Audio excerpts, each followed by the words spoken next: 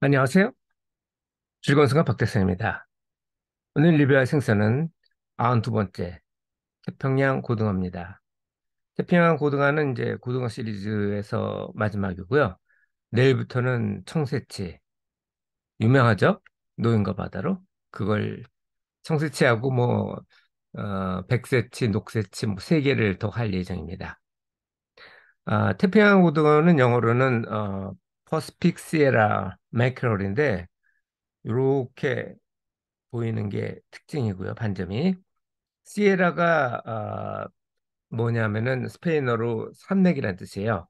스페인에 가시면은 중간에 고원이 있는데 그걸 sierra라고 부르기도 하죠. 그냥 산맥하면 거길 얘기를 하죠. 학명은 Scomberomorus sierra고 sierra는 아까 그 영어 Sierra랑 똑같은 말이죠.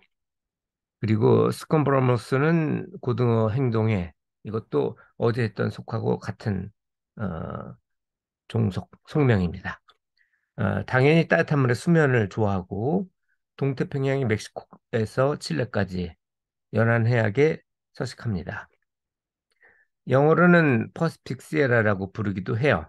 그냥 Mackerel 어, Pacific Sierra가 아니고 그냥 Pacific Sierra, Sierra라고 부르기도 하고 한글은 번역이 없어서 제가 태평양 고등어라고 번역을 했습니다.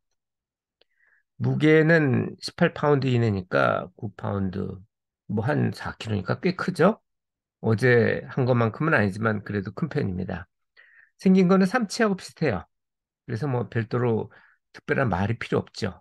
하도 유명하니까. 멸치나 작은 무- 물고기들을 먹고 살고 맛은 제빵어 비슷하니까 어, 좋은데 그보다 더 뛰어나고 부드럽다고 합니다. 그래서 당연히 식용으로 인기가 있겠죠. 해안 인근에서 산란을 하기 때문에 어, 해안 인근에 올 때 많이 잡히겠죠. 원래 어, 알벤 놈들이 더 맛있거든요.